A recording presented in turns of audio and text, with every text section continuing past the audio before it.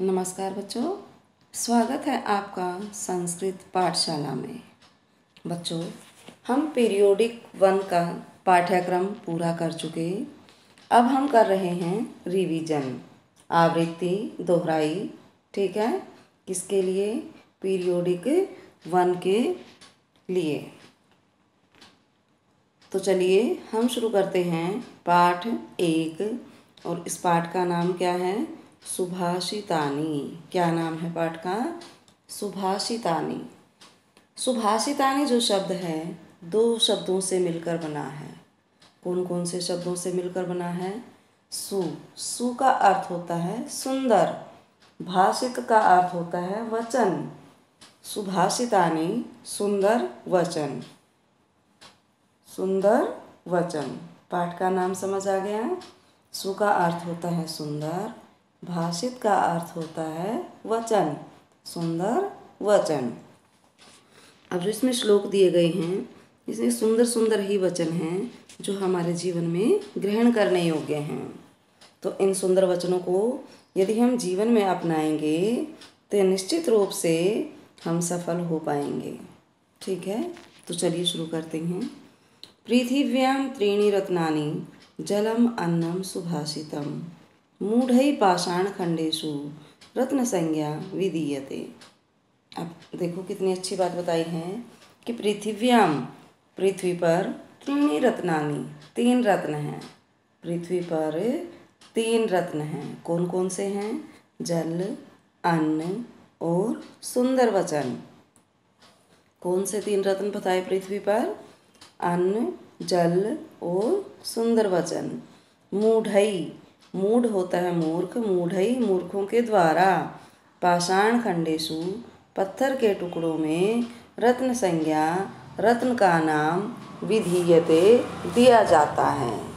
यानी कि जो मूर्ख लोग होते हैं, वे पत्थर के टुकड़ों में ही रत्न मानते हैं, या पत्थर के टुकड़ों को ही वो रत्न मानते हैं। दोबारा सुनिए। पृथ्वी पर तीन रत्न हैं, जल, अन्न और सुंदर वचन। लेकिन जो मूर्ख लोग होते हैं, वे पत्थर के टुकड़ों को ही रत्न मानते हैं। समझ आ गया आपको पहला श्लोक? चलिए, अब दूसरा श्लोक पढ़ते हैं। सत्येन धार्यते पृथ्वी, सत्येन तपते रवि, सत्येन वाति वायुश्च सर्वम सत्य प्रतिष्ठितम। अब सत्येन, सत्य से धार्यते धारण की जाती है। पृथ्वी पृथ्वी। पृथ्वी जो है, सत्य से ही धारण की जाती है। सत्येन, सत्य से तपते, तपता है रवि रवि। सत्य से ही रवि या सूर्य तपता है। सत्य से ही पृथ्वी धारण की जाती है। और सत्य से ही सूर्य तपता है या जलता है। सत्येन सत्य से वाति बहती है, वायु, हवा, च और और सत्य से ही हवा बहती है।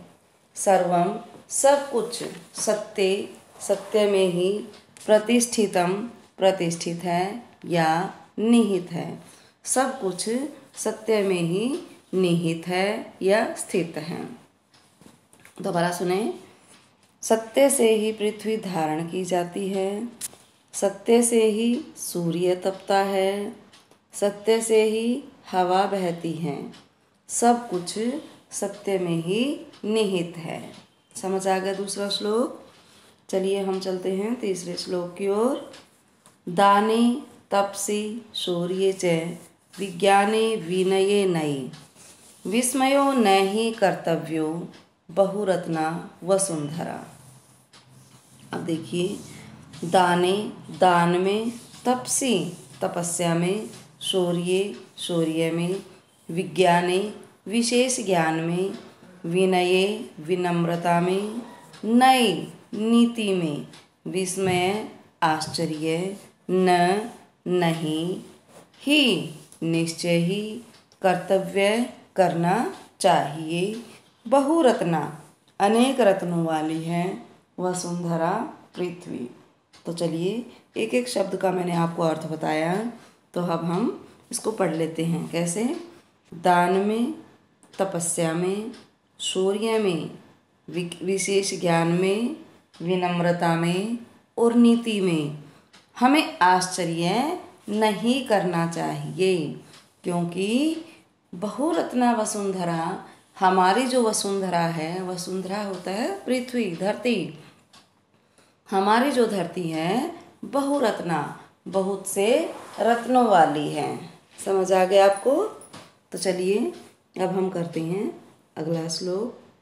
सद्भिरेव सहासित सद्भि कुर्वीत संगतिम, सद्भि विवादम मैत्रीम च, न असद्भि किंचित आचरित। क्या बताया है? सद भी, जो सज्जन लोग होते हैं, सद होता है सज्जन। सज्जनों के साथ ही बैठना चाहिए साहसित है बैठना चाहिए।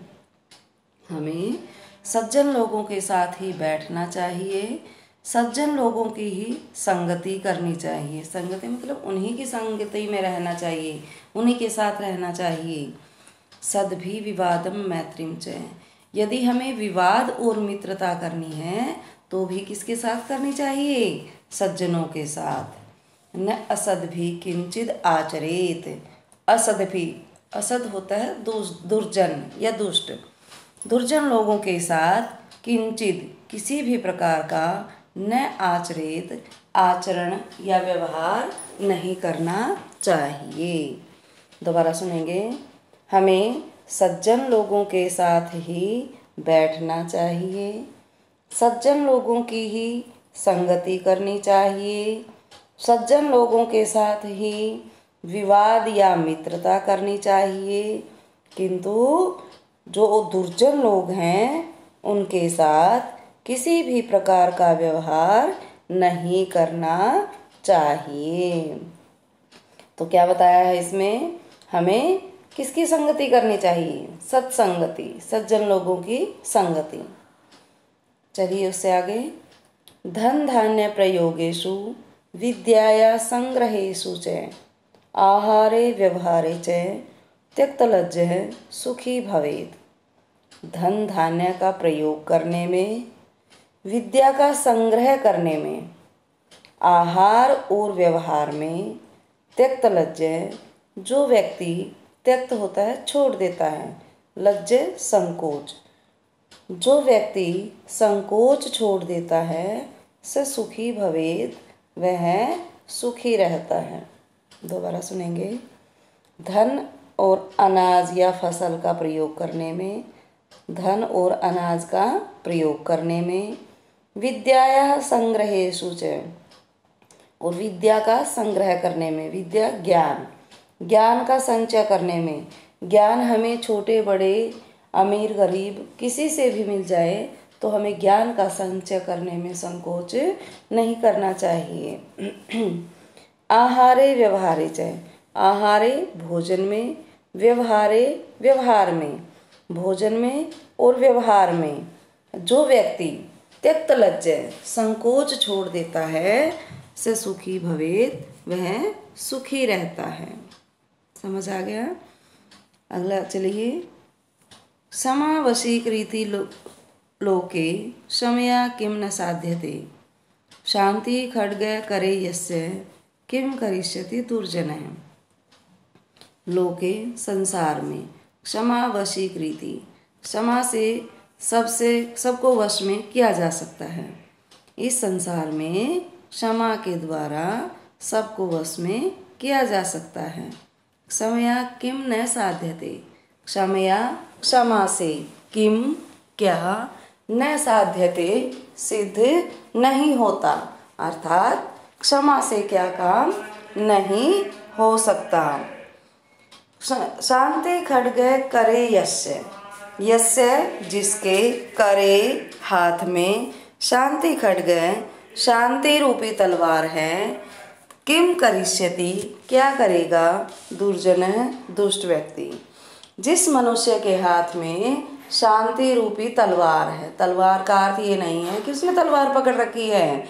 यानी कि जिस मनुष्य के मन में शांति है, उसका दुष्ट व्यक्ति कुछ भी नहीं बिगाड़ सकता। तो मनुष्य को कैसा रहना चाहिए? शांत रहना चाहिए और उसके अंदर कौन सा भाव होना चाहिए? क्षमा का भाव।